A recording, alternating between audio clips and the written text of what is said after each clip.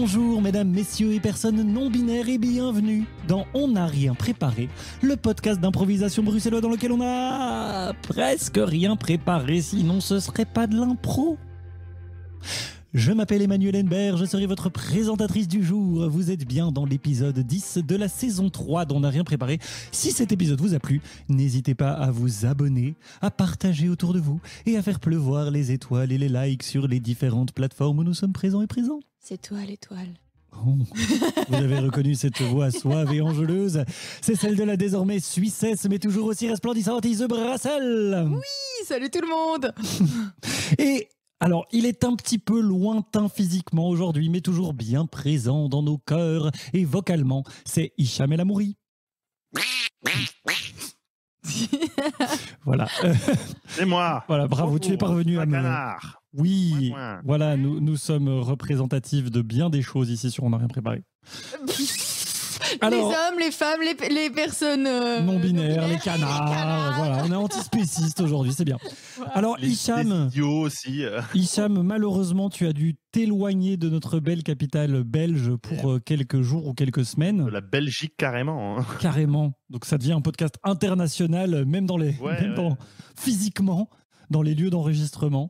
Euh, mais tu as tenu à ce que, on, bah, en fait, on va, on a maintenu quand même euh, nos enregistrements parce qu'aujourd'hui, vous le savez si vous nous suivez aujourd'hui, c'est le deuxième épisode du mois et donc c'est le premier épisode avec notre invité mensuel.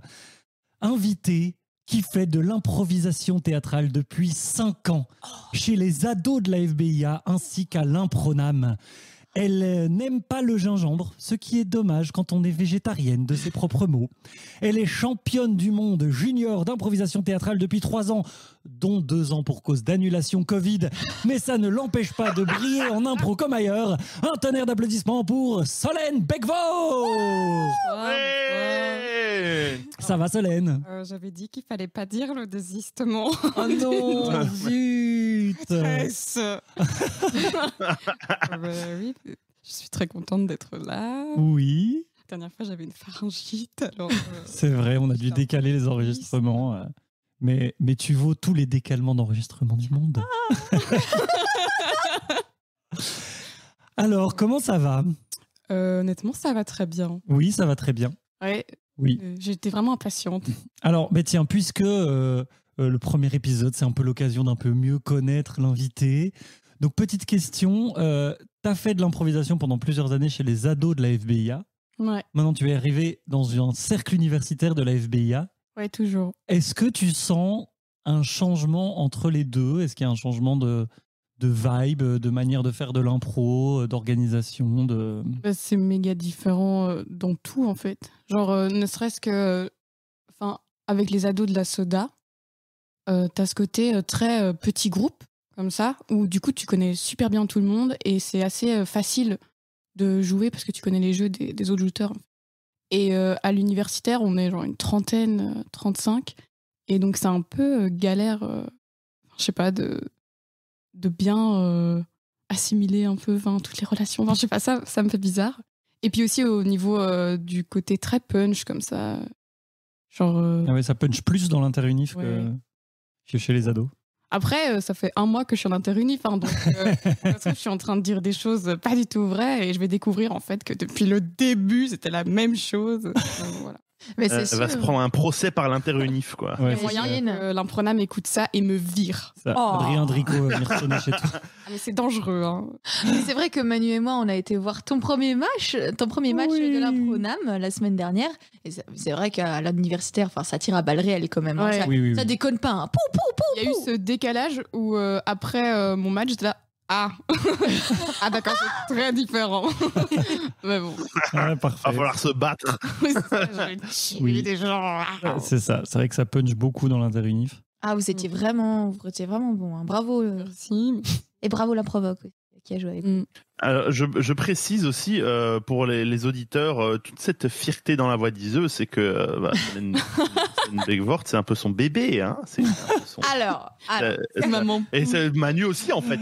C'est oh, pff, moi je suis euh, moi je suis la tati euh, dans le fond qui parfois amène des gâteaux. euh. Non? Solène explique un peu qui on est par rapport à toi, en fait. C'est vrai que toi, tu nous as rencontrés il y a trois ans. Dans quel contexte? Alors apparemment, Manu... apparemment Manu et ma tata. Apparemment, qu'est-ce que ça veut dire apparemment Il y a cinq chats en mariage. Voilà, c'est ça. Mais ça me convient très bien. Mais euh, Ise a été du coup ma maman poulpe, euh, alias ma coach soda euh, pendant mes années euh, d'improvisation jeunesse. Et Manu était ma coordinatrice.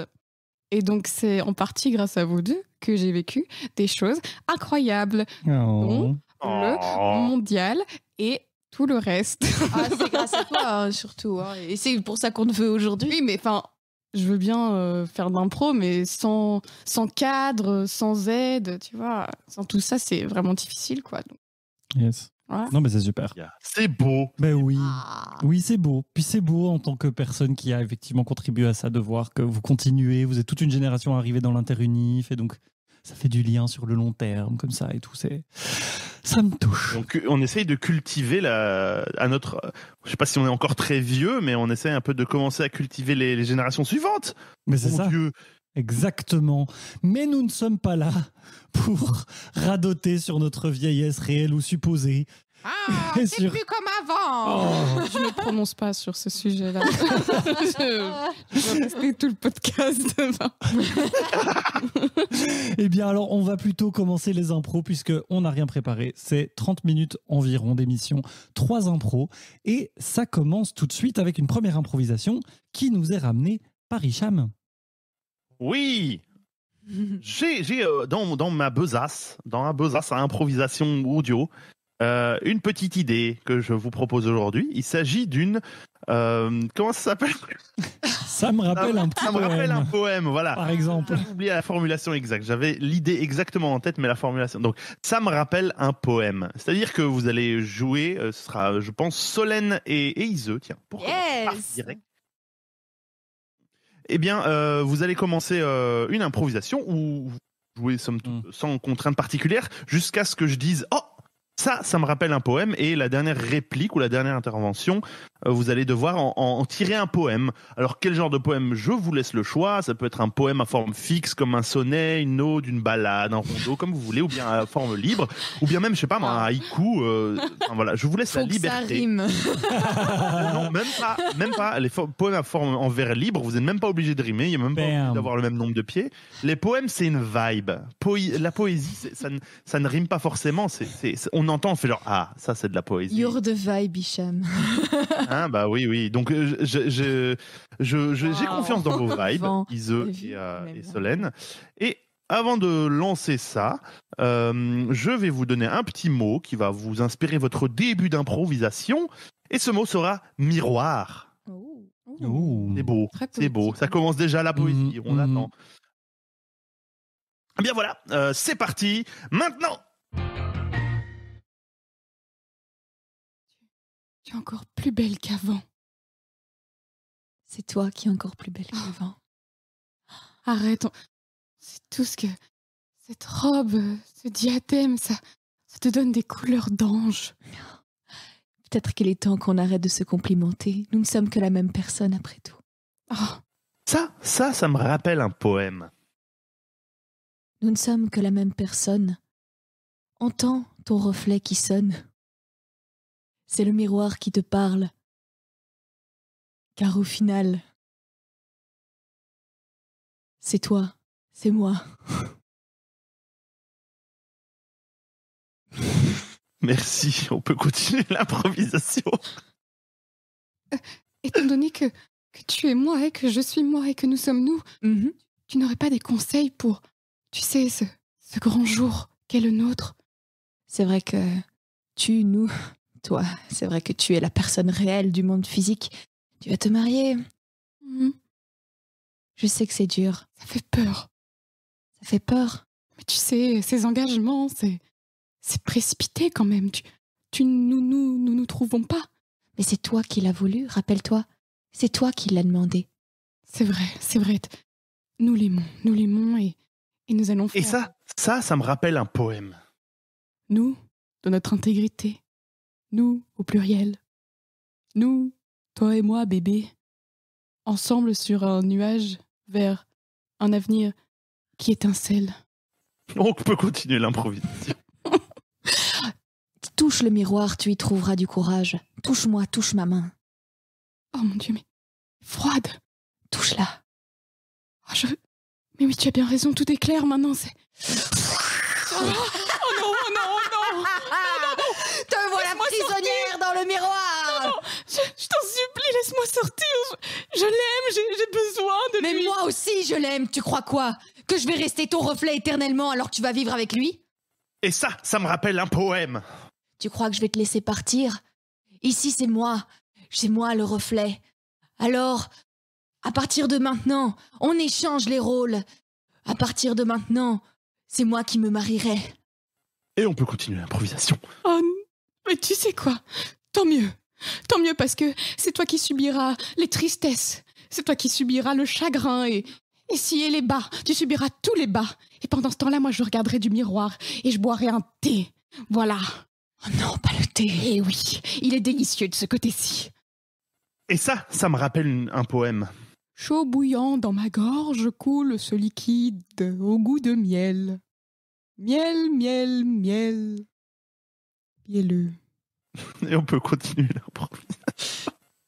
C'est- Je suis sûre qu'il est tout aussi bon ici.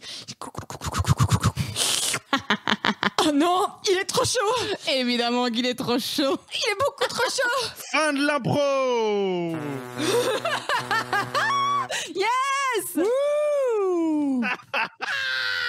Miel, Miel, miel, miel, miel. miel. Miel, miel, mielleux. Mielleux. Oui, oui c'était le niveau à peu près. Oh waouh Est-ce qu'on a fait des poèmes? Je ne sais pas. On ne chie pas sur les gens quand on n'a pas participé. C'est vrai. Je me tenais en embuscade. Quoi? J'ai préféré manger de la muscade. Oh oui, ça va. Tu fais mieux des poèmes que nous. Ça va. T'es contente On a dit que c'était pas obligé de rimer. Hein. Oui, c'est ça. Oui, mais bon, est-ce que ça vibait? Moi, j'ai trouvé que ça vibait. En plus, l'image du Ça miroir et du reflet, c'est c'est très poétique. Ouais, ouais, ouais. Euh, Hmm. Si on fait l'impro poétique, du coup, les poèmes, euh, ils doivent être plus poétiques, c'est plus difficile. Je sais pas, peut-être que. Eh ben, mettre de la musique poétique par-dessus. Ou la fameuse musique poétique. Alors, musique poétique sur YouTube. Hum, ça va être merveilleux. Mais, euh, ton... caractère. Et le premier poème, Oh oui, tellement. il était qu'à moitié assumé, le premier poème. Parles. il était, euh, il était carrément pas assumé. c'est ça que c'était. Tu sais que j'ai oublié en fait un moment que c'était un poème. J'étais, je continue de parler. Pourquoi est-ce qu'il jamais interrompu? Pourquoi il m'interrompt Pourquoi est-ce qu'il dit que ça rappelle un poème c'est- Eh bien, L'impro qui rappelle le poème, en fait. Oui, c'est ça. eh bien, en parlant de se rappeler des choses, je pense que la deuxième, euh, la deuxième impro, c'est Iso qui l'amène et Et je me rappelle que c'est une film, euh, c'est une réplique de. Waouh On est à fond sur les titres là. Mais hein. non, mais Yes.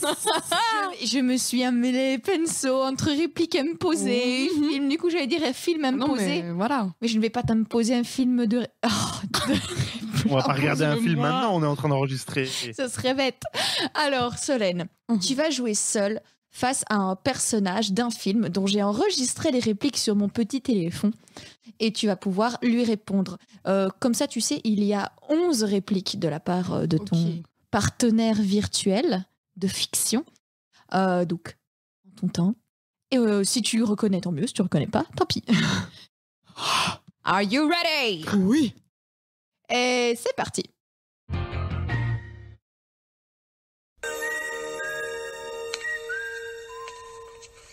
Bon, ça s'est bien passé.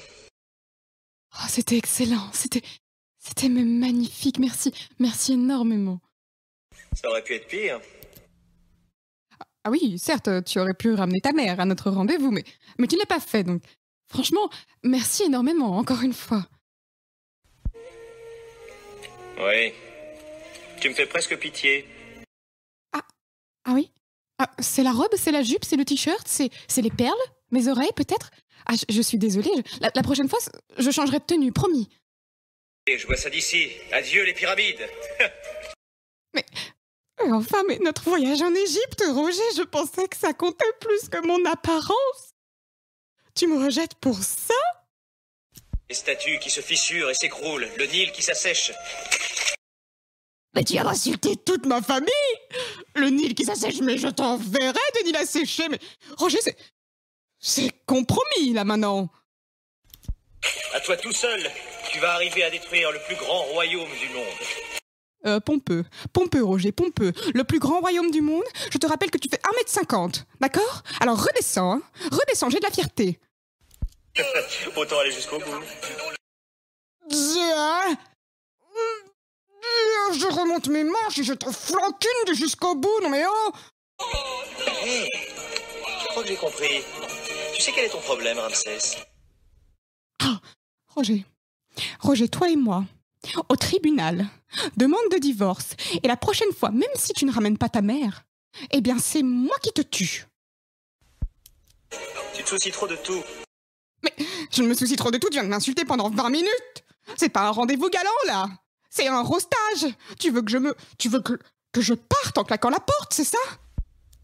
Bon, et dans ce cas, je suppose que tu te soucies bien plus que moi que nous soyons en retard au banquet, par exemple Oh, un banquet?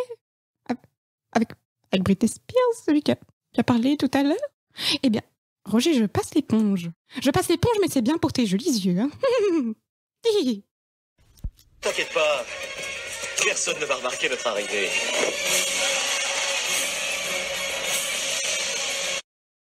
Euh, le but, c'est qu'on en remarque, mon chéri. Je reporterai des perles cinq fois plus grosses. Bravo Bien joué Ah, ce truc, c'est pitoyable ou ça fait pitié, c'est ça J'ai plus la réplique exacte. presque mais genre- Oui, tu Oh. fais pitié. Même venant d'un personnage de film, ça fait mal. Oui, oui. Ah, mais carrément. après, les pyramides qui s'effondrent, le Nil a séché, ça fait ra, ra, ra. Ah, mais carrément. J'ai failli te prendre Mean Girls pour. euh, Ah. Mais c'est difficile à dé- de découper euh, juste euh, Regina George qui parle. Mais euh, du coup, j'ai pas pas la découper, chose. hein, faut la laisser en entier, Regina. Oui, pardon. On ne touche pas à Regina George.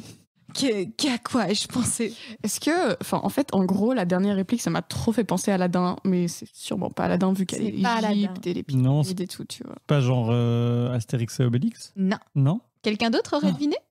Oui, c'est Prince d'Égypte, Prince Eh d'Égypte. oui dédain. Vous êtes tous nuls. Et me dit Ramsès à un moment, je fais genre. Ouais. Oh, elle est... Il faut pas nous donner des cadeaux comme ça là. Mais oui, c'était le prince d'Égypte de DreamWorks. Mmh. J'ai euh, plus vu ce film depuis. Ah ouais. Je l'ai vu beaucoup étant plus jeune. Mais euh, Solène, toi Ouais. tu connais? C'est assez chouette. Ben, justement, je pense que j'ai jamais vu, ou alors c'est des souvenirs méga lointains de j'avais 3 ans. Ouais. Mmh. Parce que c'est c'est euh, c'est c'est pas exactement la même génération là. Mmh, coup de vieux, coup de vieux. Pas pour moi Eh, ne te venge pas, c'était un perso de fiction Donc on n'invite plus que des personnes plus vieilles que nous, c'est ça qu'on dit. Et pour éviter de me faire roster plus longtemps, je vais passer à mon improvisation solenne. Et mon improvisation, ce sera une lieu imposé. Ah, Euh, enfin, une trois lieux. Pardon, c'est comme ça Ah, qu'on a appelé oui. ça finalement. Une trois lieux. Donc dans la trois lieux. Ah, personne n'a réussi à dire correctement son, son improvisation. Formidable, on est on fire. Donc, dans la trois lieux, qu'est-ce qui va se passer? C'est que je vais donner trois mots différents. Euh, non, un mot. Non, mais voilà, moi je vois qu'on s'est bien préparé pour moi et que. Non, non, mais l'essentiel Voilà, c'est que ce soit clair dans notre esprit. Mais oui, voilà. Puis on voit que même, on pré- enfin, puis comme ça, on peut se dire, ah, mais si on avait mieux préparé, ce serait encore mieux, tu vois. Et comme ça, on, on reste dans une espèce de médiocrité ce qui s'entretient. un concept où vous avez rien préparé? Presque. Presque. Presque. Oui, pardon. Mais donc, je vais donner un mot à chacun et chacune d'entre nous. Et nous allons chacun et chacune proposer un lieu à partir de ce mot. Et puis toi, Solène, Mhm. du haut de ta prime jeunesse, tu vas décider dans quel lieu va se passer l'improvisation qui suit. Et je jouerai cette improvisation avec toi parce que sinon je n'aurais pas joué avec toi de tout l'épisode, ce qui est un peu triste. ben oui. Euh, Est-ce que c'est clair? Oui, c'est très Oui, clair. formidable. Eh bien, je propose qu'on fasse ça dans l'ordre des improvisations, par exemple. Donc, Hicham, ton mot sera observatoire. Ouais, bah, je me demande ce que je vais faire. Ah non, pas, bah, d'accord. Alors, ton mot sera loup. Alors, nous sommes euh, à l'orée d'une forêt. C'est des pins, euh, des- une forêt de pins avec de la neige encore dessus. Mais pas, pas c'est pas très neigeux. c'est euh, plus un genre fin de fin d'hiver quoi, fin d'hiver début de printemps. Et juste à, à quelques mètres de, de, de- de- des- des arbres, il y a une palissade, une grande palissade avec des euh, des, pou- des, des pieux pointus qui fait tout le tour avec juste une ouverture. Là, il y a une ouverture avec marqué au-dessus parc à loups écrit en grand. Merci beaucoup. Donc, un parc à loups en fin d'hiver euh, à l'orée d'une forêt. Pas mal. Euh, eh Parc bien, à loups. On pas un totem. Hmm. Un totem. Ise, Parcalou. ton mot sera trou noir. C'est parti pour 30 secondes. Nous sommes dans un observatoire. Mais un observatoire désaffecté, euh, ça se dit un, observatoire qui ne sert plus. Euh, D'ailleurs, il y a de la moquette des années 70 euh, qui recouvre les murs et même par encore parfois le sol. Nous sommes dans la salle principale où il y a plus, le plus grand télescope de l'époque. Et il fonctionne bizarrement encore. Sauf que la seule chose que l'on peut y voir, c'est une tache indistincte bleue dans le ciel. Voilà, donc un observatoire désaffecté, enfin qui ne sert plus, enfin voilà. Un gros De la moquette. plus grand euh, ah, euh. De la moquette, un gros télescope euh, et, euh, et un trou bleu, Un Une- point bleu. un point bleu dans le ciel. Formidable. Eh bien moi, euh, mon mot sera Cendrillon. Alors pendant 30 secondes, Cendrillon. C'est parti. Eh bien nous sommes dans un atelier de couture. Il y a euh, des étoffes euh, partout, euh, entassées comme ça. dès qu'on marche, il y a des, bouts de fil qui, qui nous suivent comme des petits moutons de poussière. Et alignés sur les murs, en fait, sur un mur, il y a plein de bobines de fil de plein de couleurs qui ont été disposées pour former une espèce d'arc-en-ciel de mille et une nuances. Et au milieu de tout ça trône un mannequin drapé d'une espèce de robe, mais d'un tissu transparent. Voilà. Ça ne recouvre pas. Un poil quoi. Ouais, c'est ça. poil. Euh, à poil, mais pas à poil, enfin tu vois quoi. Oh, j'ai rigolé à une blague comme ça direct. À poil.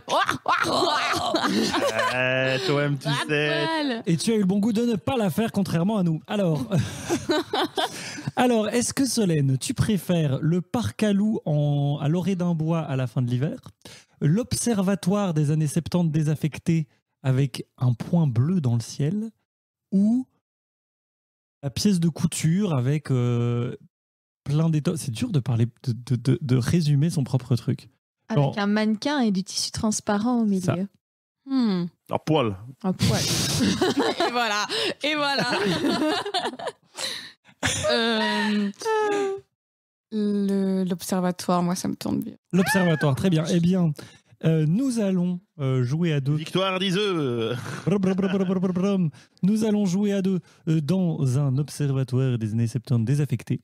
Attention, c'est parti.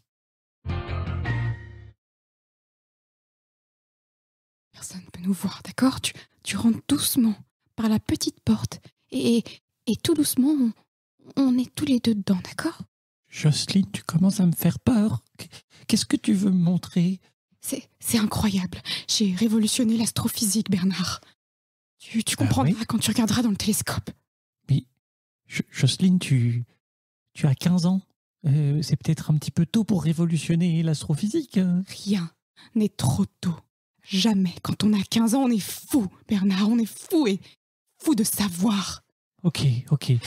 Euh, Je dois regarder où du coup? Viens, viens, viens. Et fais attention à la moquette. hein. Il y a des trous, tu pourrais trébucher. Ah, je rêve, elle est- elle est humide? Oui, non, ça, c'est c'est rien, c'est rien. Il y, a, il y a des rats et... Ah, et ça, Oui, ça, ah, ça sent quoi? C'est le pipi des rats. Je suis désolée, Bernard. Oui, voilà. c'est- C'est pas joli, joli, mais il fallait que je me fournisse du matériel gratuit et... Et- Bon, bon, bon. euh, Je regarde là-dedans alors. Oui, mets, mets ton œil et tu vas tout comprendre. Oh, Je te l'ai mais c'est quoi? Mais c'est ça, c'est tout. C'est tout, cette petite tache bleue, c'est tout, Bernard, c'est la réponse à la vie. Attends. Attends, t'as vu qu'elle. Elle fait des signes Ou elle pulse ou que... C'est C'est du morse. c'est du morse? C'est du morse, Bernard. il y a une étoile qui te fait du morse, Jocelyne? Je, je pense que oui. Et qu'est-ce que ça dit? Eh bien, je ne parle pas le morse, c'est pour ça que je t'ai invité. Mais enfin Attends. t'as-. Je. Oui, Vous. je vous aime aime. Voulez-vous Oh mon dieu. m'épouser? Ah? Jocelyne, c'est une blague que tu me fais, c'est ça? Non, Bernard, non. Jocelyne, on a 15 ans, on va pas s'épouser tout de suite quand même Pas moi, c'est pas moi, Bernard, c'est l'étoile. Oui, c'est l'étoile, bravo, c'est l'étoile Mais enfin, Bon, écoute, euh, Jocelyne, t'es mise en scène à la mort moelle de toutes les gardes, hein, parce que... non, Bernard, je, je ne parle pas le morse. et Comment veux-tu que je t'envoie un signal à 4 milliards Jocelyne, d'années-lumière je t'ai déjà dit, c'était une amourette d'été, c'est fini, passe au-dessus. Ah, alors, Ça n'a rien à voir avec notre histoire d'amour à la colo, d'accord? C'est une révolution d'astrophysique, Bernard. Ouvre les yeux. Cette étoile veut nous épouser. attends, attends, elle, elle dit autre chose. Non, pas toi, idiot, elle. Moi? Toi, Jocelyne L'étoile veut m'épouser, mais... Dis-lui oui, dis-lui oui avec le télescope. je- Euh, euh, Évidemment. Attends. euh,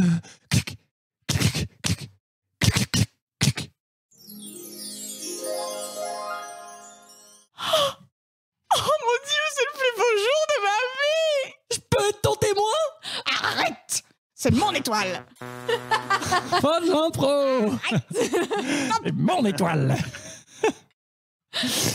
Trop mignon Ah, je suis très satisfaite. Ça va, c'était dans ce que tu espérais pour ton lieu. On est beaucoup dans les mariages, les unions et l'amour aujourd'hui. C'est vrai. J'ai un peu d'humeur. Euh, Ah, tu es amoureuse Je comprends. je comprends? Effectivement, c'est une humeur qui arrive de toute façon. Solène cherche l'amour.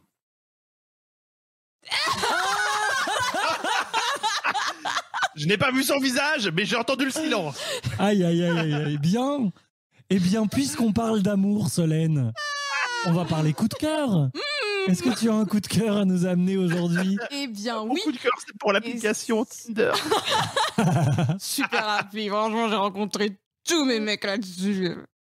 Non, mais moi, ça n'a rien à voir avec l'amour. C'est genre Ah. méga logique. Ok. Oh waouh. Voilà. Euh, revenons. Plutôt astrophysique, du coup, c'est ça ou J'adore les calculatrices. nul. Mon coup de cœur, c'est pour les calculatrices graphiques. Pour l'inventeur de la trigonométrie. Pardon, vas-y. Ton coup de Alors, cœur. en fait, c'est un compte Instagram qui s'appelle Willexit et qui, à la base, est une start-up. Et en fait, c'est des avocats qui ont décidé de vulgariser le droit euh, pour le rendre accessible à tout le monde, en fait. Et donc, euh, à peu près chaque jour, tous les deux jours, ils publient un post avec les sujets qui concernent les citoyens, genre euh, les divorces, euh, quand t'es étudiant, comment tu fais pour ton code, etc. Plein de choses comme ça. Et c'est super pratique. Enfin, je sais pas vous, mais moi, je ne lis pas le droit constitutionnel tous les jours. Et euh, le fait que ce soit résumé, euh, c'est trop bien. Et en plus de ça, ils proposent, euh, la start-up, pardon, propose un service où en fait, n'importe qui peut téléphoner et avoir droit à un avocat qui répond à toutes ces questions seulement pour 30 euros. Donc c'est vraiment genre hyper accessible pour tout le monde tout le temps et je trouve ça trop bien. Donc voilà, et je suis friande euh, de tout plein d'anecdotes, même des trucs qui me concernent pas, hein, genre le divorce, je suis ah bon? Quoi Je peux faire ça Je peux faire ça à mes enfants que je n'ai pas. Donc euh, c'est chouette. Trop bien. Donc, c'est You Lexit. Oui, Lexi. Will Exit. Ah, Will Exit. W-A-L-X-E-T. Formidable. Formidable. Formidable. Ce sera- non, mais ça, en tout cas, ce sera mis euh, dans, les, dans le descriptif de l'épisode. Comme ça, les personnes qui n'auront pas euh, suivi ton accent formidable in English pourront euh, retrouver ce compte. En langlish En langue En anglais, en français. Donc en plus, c'est vraiment du latin, quoi, genre Lexit. tu C'est vrai. Donc, euh, Mais oui, c'est pas ouais, c'est enfin, c'est pas, c'est pas, c'est pas j'ai une idée. c'est Bon. genre WE, quoi. Enfin, Oui, c'est ça. Tout sera en lien du Très bien. Oui, voilà. tout sera en lien dans l'épisode. Merci. Ise. voilà, merci The Garante de la bonne tenue de cet épisode. de l'alphabet Euh, anglophone correct. Voilà, c'est ça. Euh, trop bien. Bah oui, trop bien. Euh, vulgarisation euh, légale. Hmm. Cool. Euh, ben, merci beaucoup.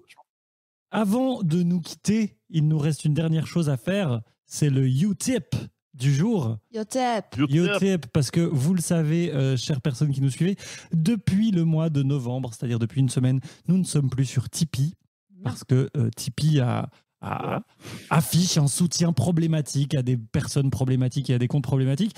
Et nous sommes donc passés sur Utip. Mais le fonctionnement reste le même, vous pouvez passer.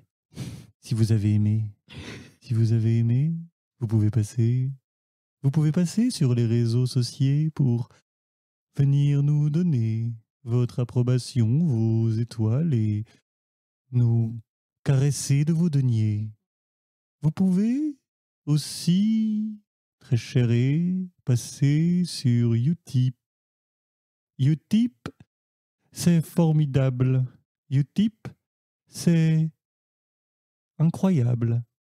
Ça permet de payer pour du matériel de qualité et des invités au sourire apaisé face aux deniers qu'ils ont engrangés en passant dans les missiers. Merci. Merci. Merci. Merci, moi. J'ai adoré. tu vois, elle se la pète encore en mode Je fais mieux Vous voyez, il suffit de, finir, de tout faire finir par et, et du coup, euh, ça rentre. Ouais, c'est ça. Genre, elle a, elle juste, elle a juste remplacé la fin de tout par et. C'est vraiment très Mais difficile. Voilà. Euh, Voilé. et Voilé, voilé. voilé ou pas voilé, c'était l'émissier. En tout cas, il y avait des mariés. Voilà. Ouais, voilà, oui, oui. Et moi, j'ai bien rigolé. Alors, voilà. Je suis bon. Ça suffit, ça suffit. Donc c'est la fin du premier épisode avec toi, Solène. Mais n'ayez crainte, chers auditeurs, nous retrouvons Solène dans deux semaines, dans deux épisodes pour l'épisode 12 de la saison 3. Solène, est-ce que t'as kiffé? Oui, très beaucoup. Ah, est-ce que tu vas revi- Ah, reviendre alors Ah oui. Ah oui, Ça vaut le trajet. hein.